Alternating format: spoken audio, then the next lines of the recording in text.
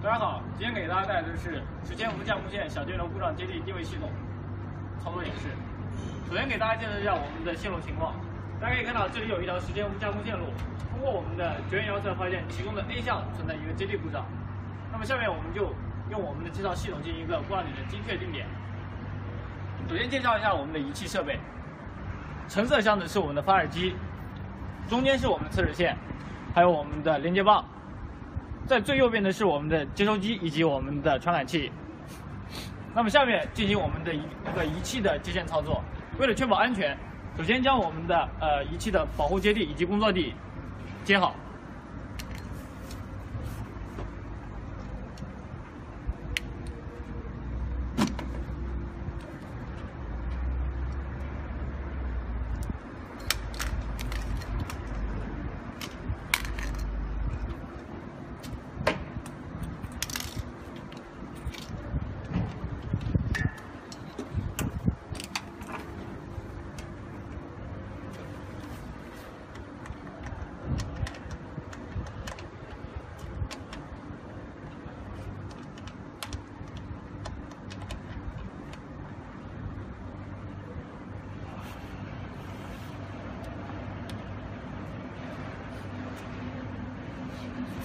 在地线接好之后，下面是我们的高压输出高压输出线的连接。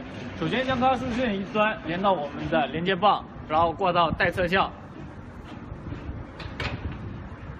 然然后另一端另一端接到我们的发热机，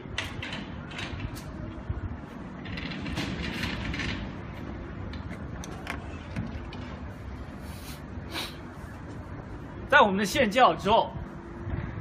下面进行的是由我们仪器的主机的呃面板操作。首先将电源连上，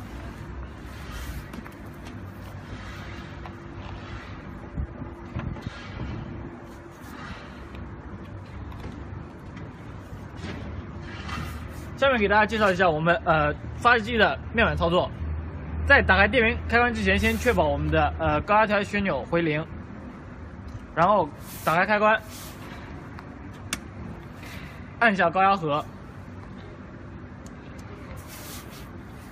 进行升压操作。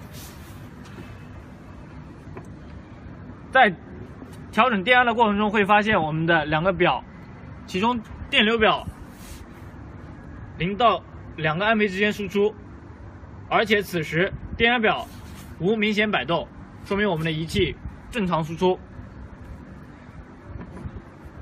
当我们仪器正常输出之后，下面一步就是进行我们一个故障点的精确定点，使用二分之一法，用我们的传感器以及接收机进行故呃故障点的精确定点，将我们的传感器挂到我们的线路中间，然后通过观察我们的接收机的一个状态指示，来确保我们故障点到底是在前还是在后。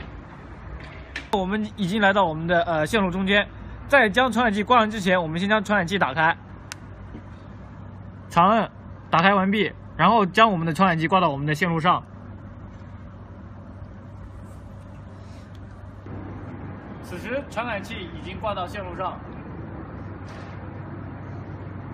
好，下面将我们的接收机打开，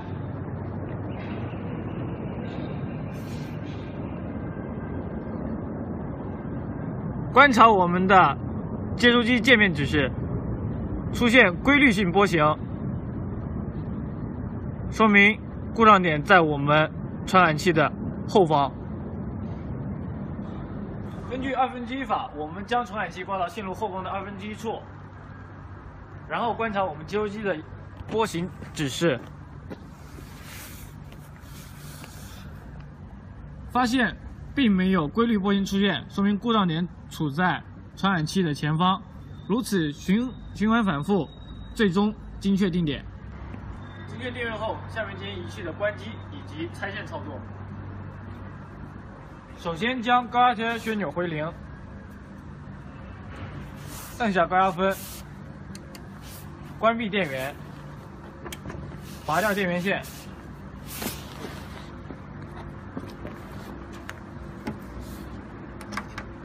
拆除红色高压输出线，